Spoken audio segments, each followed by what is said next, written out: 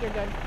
Our mission out here is primarily to take care of the surface and the retrograde of the fob. So we ingate the trucks and verify the paperwork and make sure that the the drivers are are the right drivers that are coming in that we verified earlier in the morning.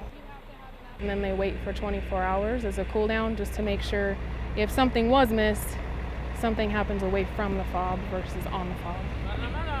And then the next morning we are able to give them to the customers so they can load their cargo.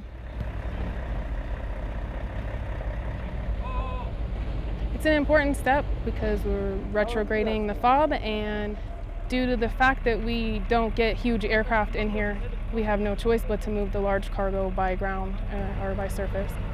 The idea is to retrograde. Let's get stuff out. The quicker, the quicker they're in, the faster they're out.